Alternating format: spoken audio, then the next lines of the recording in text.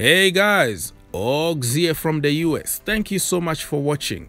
Just when you think that we, Chelsea fans, survived another transfer window without signing any senior player and we should just go on vacation, relax, recharge, and come back to try to fight for the second part of the season. Guess what? Boom! Breaking news. The Premier League decided to extend the summer transfer window for one more month. Wow! That means one more month of pain and suffering for Chelsea fans all over the world. We don't deserve this. This is not fair for us. I know it might be a good thing for other clubs, but for Chelsea fans, we always wait for the last minute, the last second before making some deals. And most of the time, we don't even sign anybody. So, what even the point of wasting all this time and not signing anybody? Anyways, guys, jokes aside, I'm not happy about it because the Premier League took a smart decision to close the window before the start of the season.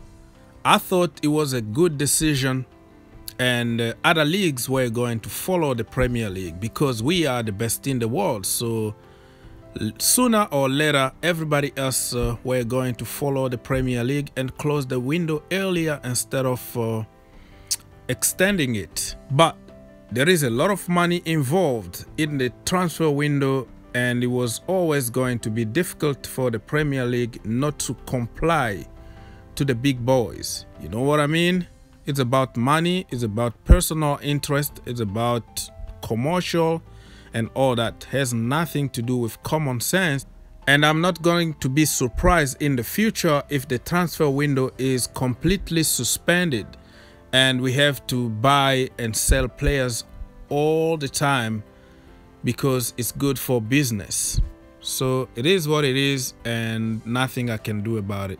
It's sad to see how football is losing its soul because of money, because of interest. Nothing you can do about it. You have to comply to the big organizations because money talk, money rules. Said. For my fellow Chelsea fans out there, I will advise you to see your doctor.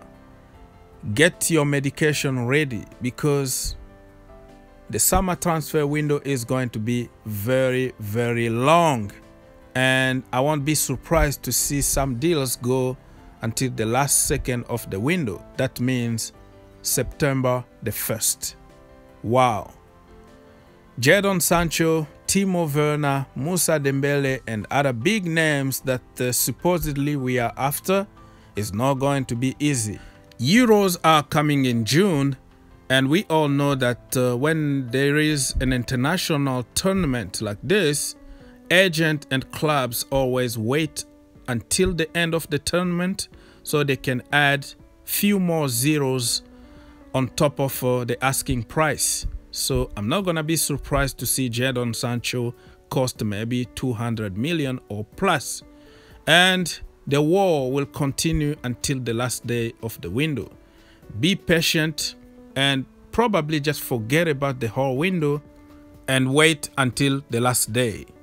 There we go, guys. Let me know what you think about the whole situation. Do you think it's a good thing to extend the transfer window and why? Leave your comment in the description down below.